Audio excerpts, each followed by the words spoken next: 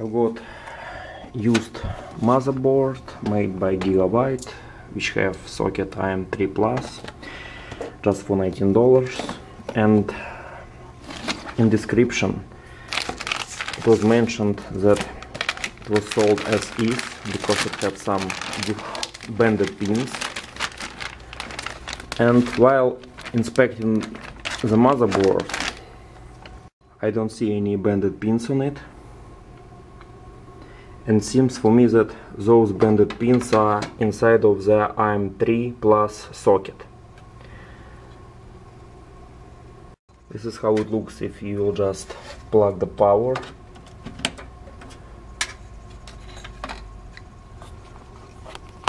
So let's also plug the power button so you will see that indicator is always on.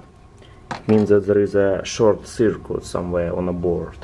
I'm considering it that some of the pins are bended inside of the AM3 Plus socket. So this is how it looks. As you can see, no CPU is installed, no RAM, but as soon as you provide power, the power button just lights on.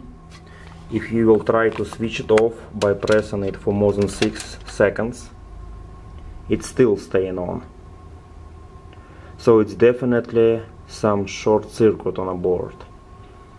I tried installing the CPU, RAM, video card and it's doing the same. As soon as I provide the power, the power button lights on and nothing doesn't happen. You cannot switch it off, cannot turn it on, nothing at all. So let's take AM3 socket apart and check for bended pins. I've got some info how actually AM3 socket could be taken apart by jamming those pins so it should come off. But unfortunately it's just AM3 version of the socket. In this case it's socket AM3B which is different as you can see. I don't have that much to lose anyway I have to found those bended pins.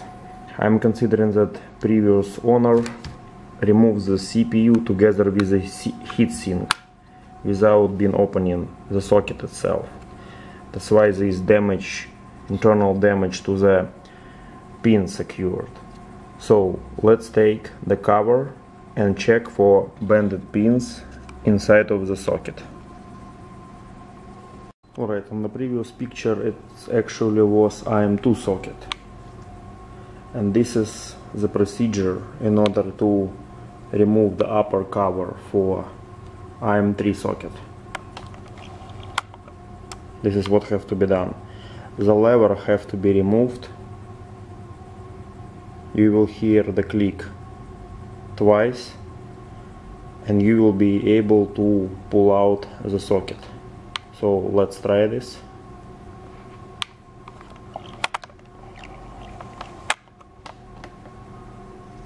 So this is AM3 plus as you can see. It's not AM2 alright let's try.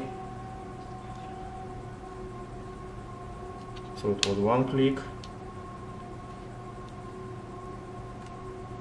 Ah, alright but also you will need before you will hear the second click you need to remove the mount because there is not enough space in order to remove the lever. So take a Phillips screwdriver and remove the mount. Remove those two bolts.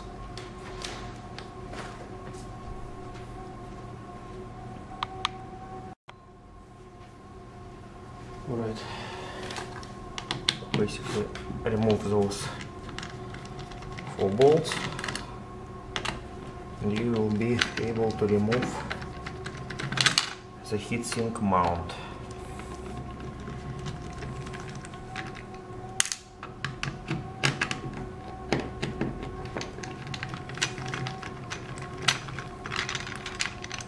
Right, as you can see, it's removed.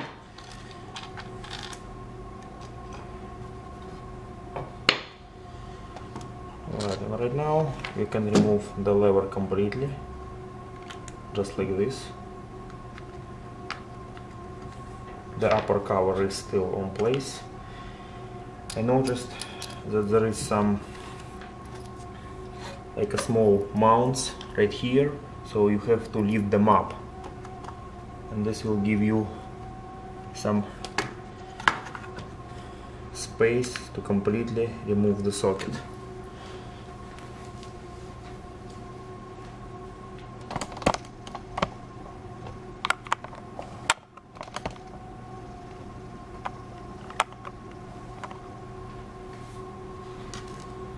so they located right here.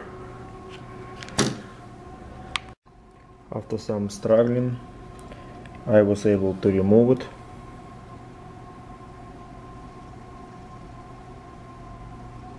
As you can see I cannot detect like the presence of any bended pins when AM3 socket was taken apart This is how the lever looks inside when you open and close socket.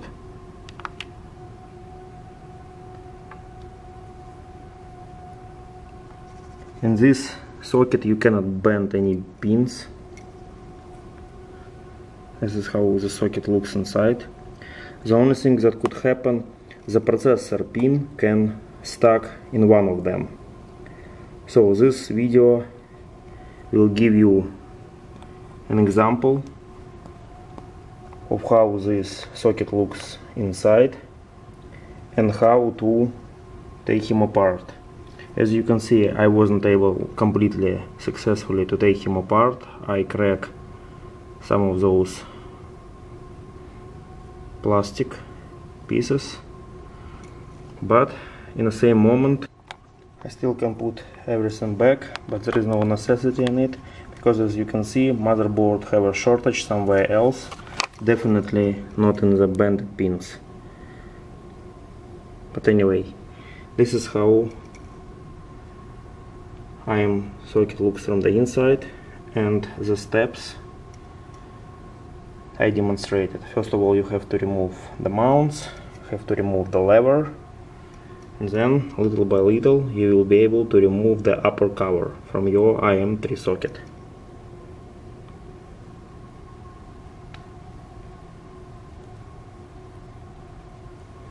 Thanks for watching.